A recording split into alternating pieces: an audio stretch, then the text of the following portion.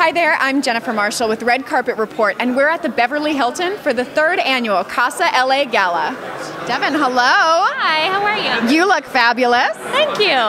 So do you. Thank you. So, so we're here at the Casa event tonight, and I'd just like to know personally, what does Casa mean to you, and why did you decide to show up tonight? Because there's plenty of events you could have been at. Yes, you know what? I'm actually thinking of fostering a child. I have, I have a number of friends who have adopted uh, or who were adopted, and so I sort of have a close relationship to that. And in recent years, I've really been thinking that I want to do it. So I wanted to show up and give support and maybe, you know, identify a child sometime soon. That's wonderful. So it's something that definitely speaks to you as an individual, as well as just being here to help raise money for the for the organization.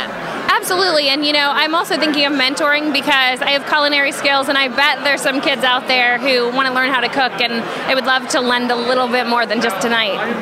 So, did you mainly come into contact with Casa because you have friends who are adopted, or how did you first find out about Casa?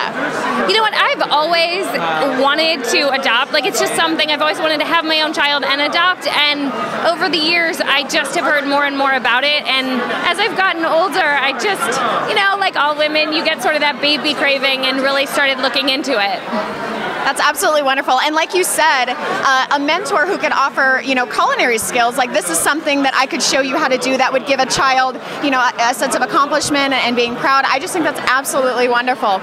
Um, how far are you in your journey? Are you just kind of like exploring right now? Yes, I'm I'm very early stages, but regardless, I mean, whether it be actually fully fostering and adopting or getting more involved, I'm very committed to doing something right away. That's wonderful.